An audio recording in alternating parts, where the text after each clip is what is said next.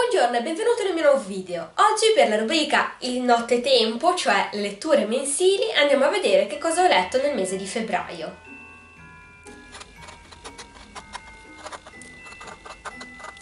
Allora, eh, ancora una volta andiamo in ordine di grandezza così che la pila stia perfettamente su. Eh, la premessa da fare è, visto che non siamo ancora del tutto alla fine del mese, io ho ancora un po' di letture da fare per quanto riguarda in particolare le uscite per, eh, dei fumetti americani, diciamo.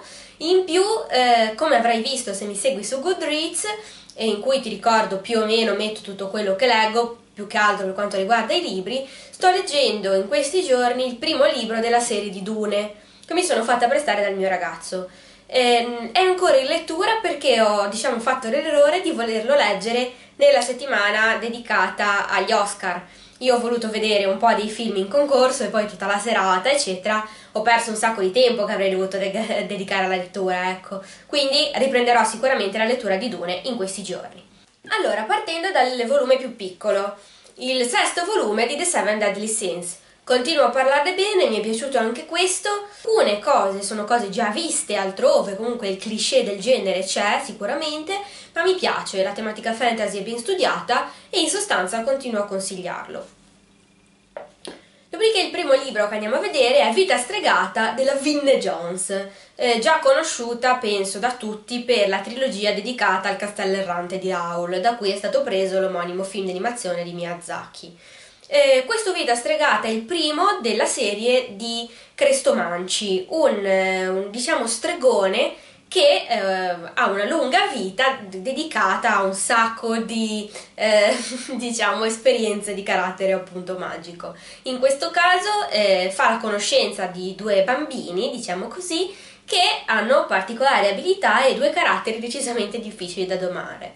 Questo è il primo della serie di Crestomanci, se vuoi sapere cosa ne penso più in dettaglio ho fatto una piccola recensione su Goodreads.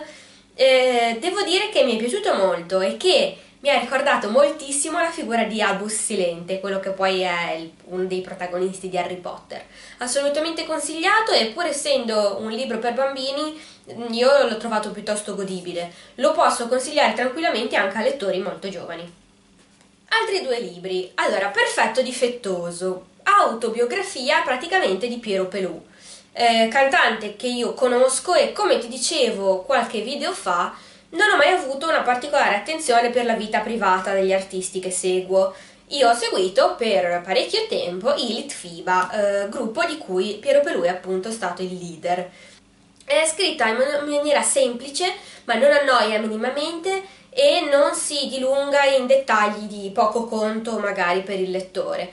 Io la consiglio, è stata una lettura carina, simpatica, devo dire. Dopodiché abbiamo Ion di Alison Goodman. Ion è un fantasy che io ho comprato tipo quasi un anno fa, o comunque tanti mesi fa. Eh, mi era rimasto in libreria e non l'avevo più letto per motivi vari. L'ho preso in mano e devo dire che mi è piaciuto più di quanto mi sarei aspettata. Ion è il primo di due libri, Ion e Iona, che è il secondo. E la protagonista è una sorta di novella Mulan, nel senso che mi ricorda molto la protagonista del film della Disney. Eh, comunque, mi è molto piaciuto, è ambientato in un posto ipotetico, non effettivamente reale, ma che ricorda tantissimo un misto molto intelligente fra Cina e Giappone. Eh, ovviamente, come potrai vincere dalla copertina, i draghi sono coinvolti, è coinvolto un tipo molto particolare di magia che potrei dire essere inerente a quello che gli orientali chiamano il Qi. Io lo consiglio, mi è piaciuto molto, è in lingua inglese, non è ancora stato tradotto, ne leggerò sicuramente il seguito e la protagonista è veramente un personaggio che puoi apprezzare senza problemi. Io penso che, eh, che vada meglio per un lettore più adulto, ecco, perché sono coinvolte un sacco di cose che non sono delle più semplici, in particolare, esattamente come in Mulan, tutta la serie di coinvolgimenti per quanto riguarda l'identità sessuale dal punto di vista dei comportamenti e questa è un'analisi che magari potrebbe fare un lettore un po' più adulto. Assolutamente consigliato, devo dire. Questa è stata un pochino una delusione. Ho letto tutte le opere di Rimbaud in questa edizione della Newton Compton, che eh, memore di altri acquisti poi se potrò non penso rifarò, ma avevo questo in libreria e questo ho letto. In realtà ne avevo già letto il grosso del testo, ma l'ho voluto rileggere tutto perché nei miei obiettivi che non sono scritti, nel senso sono cose che mi sono impostata così di quest'anno, vorrei leggere un po' più di poesia. Non che sia totalmente digiuna, ma ci sono alcuni autori che non ho mai approfondito a sufficienza. Uno di questi è Rimbaud, di cui ho letto appunto questa raccolta. Devo dire che è tradotta in una maniera che non mi ha soddisfatto e io, nonostante ci sia il testo a fronte, non conosco la lingua originale, che è ovviamente il francese, quindi mi trovo un po', come dire, eh, un po' in difesa davanti a questa lettura. Detto questo, eh, alcune di queste poesie mi hanno colpita, ma il grosso dell'opera io credo che sia viziato proprio dal fatto che in questa traduzione non riesco davvero ad apprezzarlo. Detto questo mi ha fatto piacere approfondire un po' quest'autore che non conoscevo forse a sufficienza. Uno dei volumi che mi mancavano dei classici del fumetto di Repubblica, l'arte di Mebius, autore che io già conoscevo anche in altre sue vesti, ricordiamo che è un autore che si presenta con tre diversi nomi, Mebius per cui forse è il più noto, Jean Giraud che sarebbe il suo nome e direi eh, Gix, un Gir, Gir, Gir sono i tre nickname di questo autore, che purtroppo è venuto a mancare negli ultimi anni. Detto questo, Mebius è un autore davvero molto noto. Eh, se devo dire la mia, questa opera in particolare, cioè l'arte di Mebius, che raccoglie prevalentemente il garage ermetico, poi eh, la faccenda Arzak e poi un sacco di storie autoconclusive, diciamo brevi, non rende granché giustizia all'autore. Dunque, io pre- personalmente in questa edizione, in quest'opera l'ho apprezzato meno che da altre parti.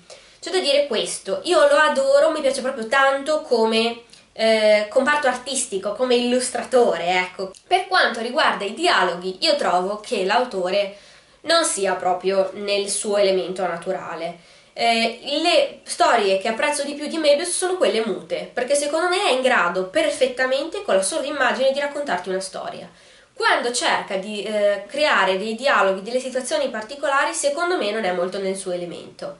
Eh, detto questo, un, eh, un volume che assolutamente può essere utile per cominciare a conoscere l'autore e in generale quindi più o meno potrei consigliarlo. I due volumi di Dylan Dog che ho letto questo mese, il 340 e il 341. Il 341 in particolare mi è piaciuto molto, ne ha parlato mezza YouTube, quindi non ne parlo a lungo, però sia di questo Benvenuti a Wickedford, sia che al servizio del caos c'è una mia brevissima recensione su Goodreads, di cui la seconda, cioè il servizio del caos, è anche sul mio Tumblr, sul mio blog, quindi la puoi leggere tranquillamente. Questo 341 mi è piaciuto molto e vediamo finalmente all'opera il famoso John Ghost, eh, personaggio diciamo cattivo, nemesi nuova di Dylan Dog che era già stato presentato, se ti ricordi, in quei volumi che ti ho mostrato negli acquisti del Luca Comics. Il volume che era rimasto orfano dallo scorso video, il secondo volume delle origini di Wizards of Mickey. Esattamente come il primo io eh, rimango sulla stessa idea lo consiglio eh, per gli amanti del fantasy in particolare, parla proprio di duelli fra maghi, che è la tematica più classica del fantasy di altri tempi. Le tavole sono le solite, come al solito io preferivo l'edizione precedente perché i colori erano un po' più brillanti, ma io continuo a consigliare anche questa. Forse le due più grandi scoperte di questa mese, Saga e Black Science. Dunque, entrambi i volumi io dovevo leggerli da un po' saga da molto più tempo, nel senso che è uscita da parecchio. L'ho voluto comprare in questa edizione della Image che raccoglie dal volume 1 al volume 6, ovviamente degli spillati, appunto di saga di Vaughn e Staples. Dunque, eh, Vaughan, autore che io conoscevo già per aver scritto altre opere, illustratrice Staples che non avevo mai mh, mm, letto, diciamo, di cui non avevo mai visto nulla. Poi in realtà andando a controllare sulla sua produzione qualcosa avrei dovuto ricordarmi, ma non mi diceva nulla così per il nome, diciamo. Dunque, questo volume intanto si presenta in maniera molto normale, devo dire, come tanti altri brossurati di questa casa editrice. Sfogliandolo però, a parte il fatto che si tratta un, della solita ottima carta patinata, ci si accorge di quanto questa storia sia figa, sia bella. Praticamente si parla in due parole, perché ne ha parlato diversa gente, si parla di una sorta di eh, rivisitazione inedita della storia di Romeo e Giulietta. Ricordiamo, si tratta di un dramma Romeo e Giulietta, quindi comunque non mi aspettavo che le cose fossero rose e fiori fin dal primo volume, cosa che infatti non è in saga. Devo dire che esattamente come l'intervista che ho letto di Avon, appunto, praticamente sono Romeo e Giulietta ma che fanno un sacco di sesso. Sì, è, una, è un riassunto che funziona, nel senso che questa è un'opera che è consigliata e scritta per il pubblico adulto. Eh, ci sono un sacco di riferimenti di carattere più o meno esplicito, ma comunque palesemente di carattere sessuale. C'è ovviamente la violenza prevista dal fatto che i loro due sono due soldati di due eserciti contrapposti, quindi è chiaro che la faccenda esercito sia coinvolta e eh, c'è la componente fantascientifica data dal fatto che loro due siano appartenenti a due, chiamiamole razze, non umane che sono dislocate in punti molto remoti delle galassie. Quindi devo dire che mi ha molto stupita. Eh, sicuramente leggerò il resto e mi, mi picchio da sola per non averlo letto prima. E Black Science invece lo aspettavo da un po' meno tempo perché comunque è un'uscita del 2014 anche in lingua originale, anche qui volumi dall'1 al 6 del, della serie regolare. Non ne parlo oltre perché ne ho fatto un video a lui dedicato, si chiama Fumetti dal TARDIS, due punti, Black Science e lo trovi sul mio canale. Rilettura per l'ambizioso progetto Gaiman di cui ho già fatto dei video ma che non mi hanno soddisfatto. Detto questo, il grande momento della tua vita che io possedevo in questa edizione della Magic Press cartonata. Si tratta di uno dei volumi dedicati a Death, uno degli eterni protagonisti della faccenda Sandman, scritto da Neil Gaiman. Tuttavia ho avuto un bellissimo regalo nei mesi scorsi, che è stato questo, che è esattamente il volume che hai visto prima, ma in lingua originale. Mi ha fatto molto piacere leggerlo in inglese, anche proprio per la musicalità del verso che viene espressa qua dalle vignette. Eh, lo stile grafico mi è piaciuto molto anche in questo volume io continuo a consigliare moltissimo i due volumi dedicati a Death, quindi sia quello di cui ho parlato nello scorso video, che puoi andare a vedere, sia uh, The Time of Your Life, appunto.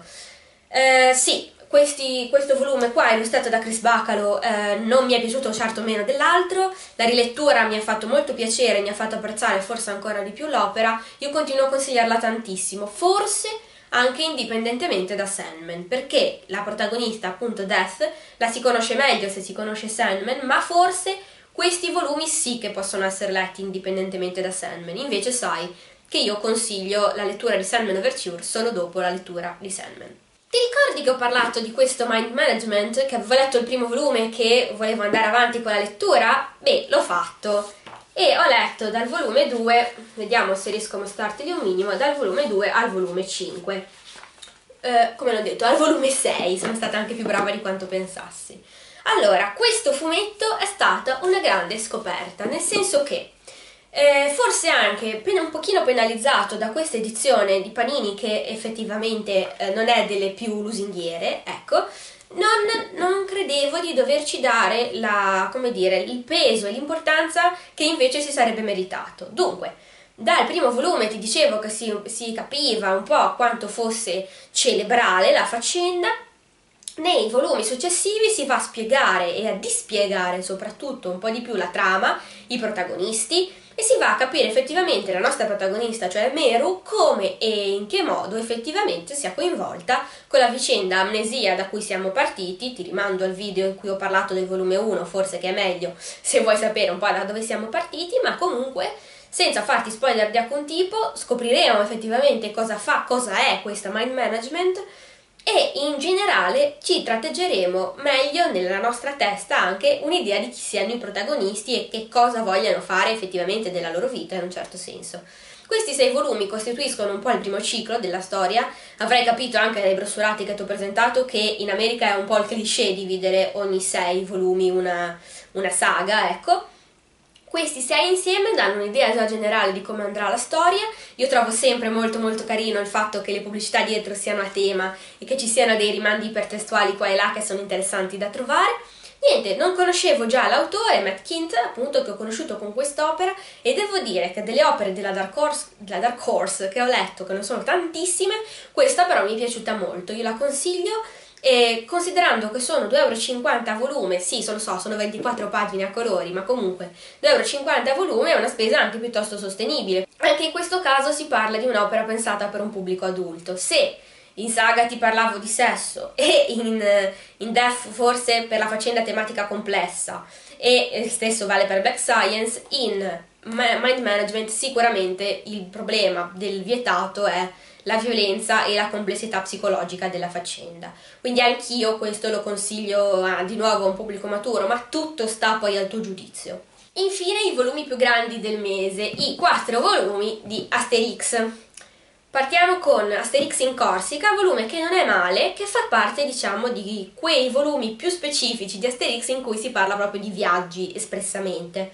Come diranno appunto gli autori, però Asterix non è una guida turistica e quindi non è il punto dove effettivamente vadano. Un volume normale di Asterix, in cui appunto i nostri eroi si trovano, indovina, ad andare in Corsica.